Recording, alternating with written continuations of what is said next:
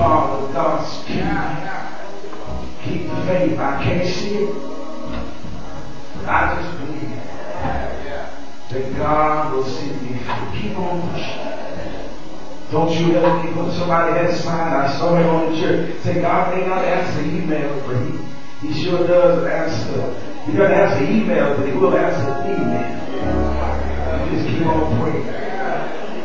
God will see you. Maybe you're here felt like giving up. Maybe you haven't accepted Christ as your Lord and your Savior.